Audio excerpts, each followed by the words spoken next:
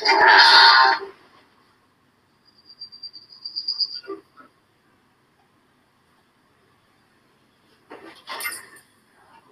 up, guys?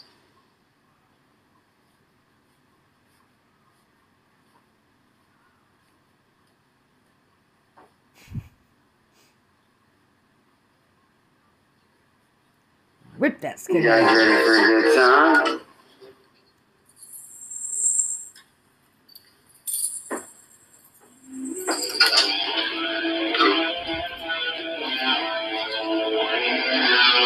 Just set